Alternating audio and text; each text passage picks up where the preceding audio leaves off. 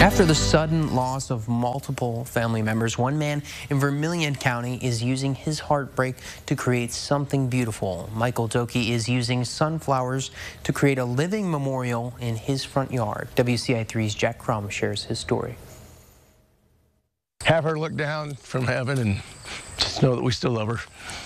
Michael Doki is an elementary school phys ed teacher in Danville. But throughout this year, he's gone through four different tragedies. I lost my dad, my daughter, my brother-in-law, and my uncle within four months. But, you know, you know, they say it come in threes, and we, you know, it came in fours for us. But you know, we've got a good, strong family, and you know, get pushing through it. Doki's daughter Macy was a 29-year-old nurse at Carle in Urbana. She passed away in late January.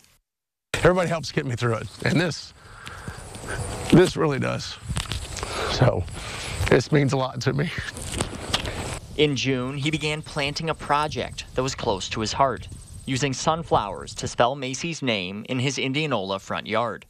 He even included a heart after her name, her exact signature. But here, I just wanted to do something special, and uh, I knew that was her favorite flower was a sunflower, and I was like, you know, I think I can I can do this. I can just draw her name with a tractor tiller, and and then this I just broadcast the seeds and went over it, and good Lord, we had the rain that uh, really helped it through, and it's just it's just thrived.